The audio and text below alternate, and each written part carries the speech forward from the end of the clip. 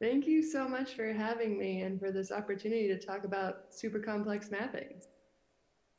Hopefully you can now see my slides. I will assume you, okay, I can see the screen, so I know you can see them. So just to get us all on the same page, and, and Nico will do a much better job of providing more context about what this means uh, in his next presentation after mine. But we like to think about complex mappings as a mapping that involves more than two entities. For example, cheese and sandwich when we really want to map cheese sandwich. And this is a very simple initial explanation, but this is what we like to say is sort of the foundation of what we mean when, when we're talking about a complex mapping. And since the examples today will be presented from OMOP to OBO, and I have to shamelessly plug it, I just want to give you a very quick and dirty overview of, of what it means so that when we dive into these examples, you'll have some underlying context of where these complex mappings come from. So OMOP to OBO at a high level is just a framework that allows us to map concepts from the OMOP common data model to different OBO foundry ontologies. We tried really hard to make this mapping very sound in terms of tracking provenance, being really specific in how a mapping is created, the ways that things identify and line up together. And then this is tracked through an algorithm that looks at different ways to create mappings, then outputs mappings again with solid provenance. So that's all I'll say about that, just to give you the purview. Again, the goal is to take concepts from the OMOP common data model and map them to an OBO foundry ontology. And the, the rest of my presentation today will be will be quick, but it's just designed to get you familiar with what we mean by complex mappings by giving you five different examples of what a complex mapping in the biomedical domain, specifically applied to healthcare data and patient data, might look like. So example one, what if we wanted to map the concept acute esotropia? Well, we definitely want to cover the concept esotropia, but we also need to have acute. And to do this, we need to say that acute is modifying the concept of esotropia. And then within the OMOP to OBO framework, we want to give you mapping evidence. So as a user of these mappings, you can determine how useful they might be that lets you know exactly how that mapping was created. So in this case, we have database cross-references on the OMOP side that align to different cross-references on the OBO Foundry ontology side. In this case, we're looking at the HPO.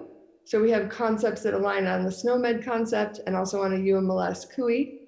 We also have string matches to one part of this mapping, and it's an exact map to the concept esotropia.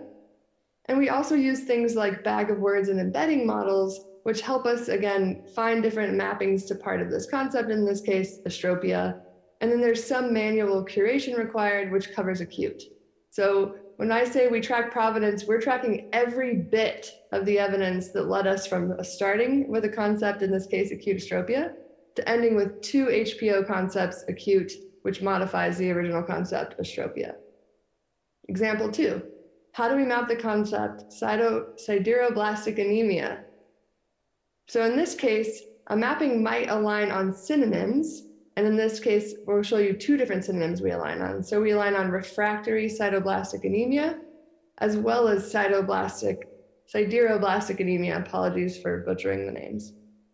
And because we map two synonyms with equal likelihood, we say it's or. And the or here matters because of how we might want to represent this mapping in terms of OWL expressivity. And again, we have evidence to support this. So we aligned on database cross, cross, sorry, cross references, just like with the prior concept. We had two exact string matches to both concepts. And we also had a perfect score when we're thinking about cosine similarity between our bag of word embeddings to both concepts. So really solid evidence to support both of these concepts. In example three, and Nico gave you a wonderful preview to this in his prior slides, hypertensive heart disease without congestive heart failure. So we have hypertensive heart disease, we have congestive heart failure, and we want to make sure that when we create this mapping, we're saying hypotensive heart disease and not congestive heart failure. And similar types of evidence to support this mapping, again, with different degrees of confidence as suggested by the score or by the different levels of, of mapping at either a database cross-reference or a string alignment.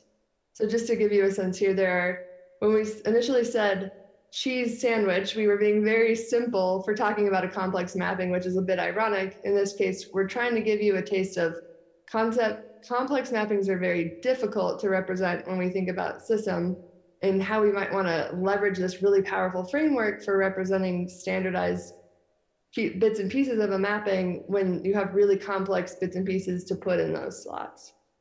Okay, last two examples, and I promise I'm handing it back to Nico. So chronic deep venous thrombosis of right calf.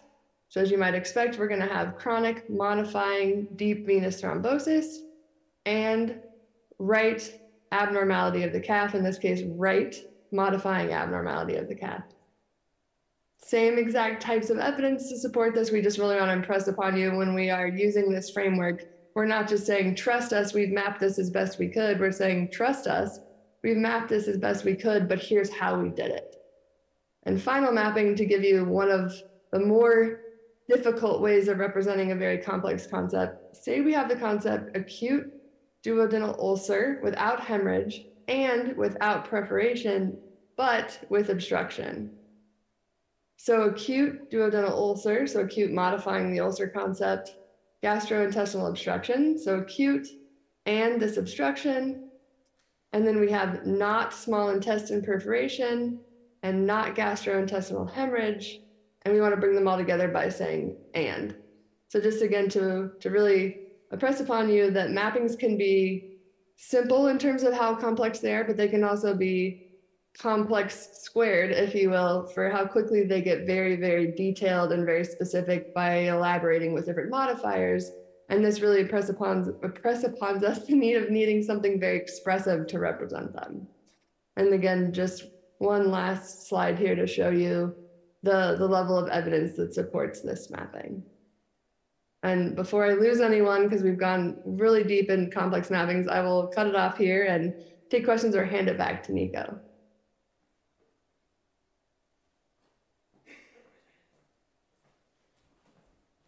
Thank you very much, Tiffany. Anyone here uh, wants to ask a question before we move over to solutions? Sue?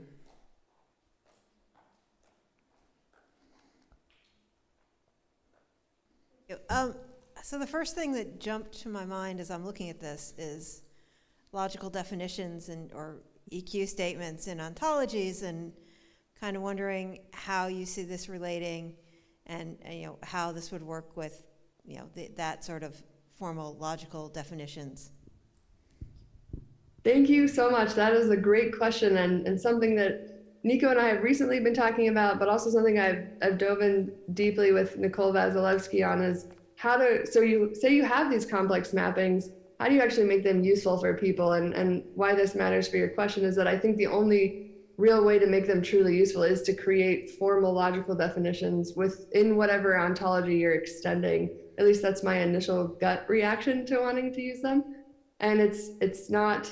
I think there are automated ways we could do that within this framework, but I don't think it's it's trivial or or easy in any way, shape, or form. So I don't know if I fully answered your question, but I I totally agree with you. We need logical definitions, and I think the best way to do that is to start by extending the initial ontology you're mapping to or ontologies.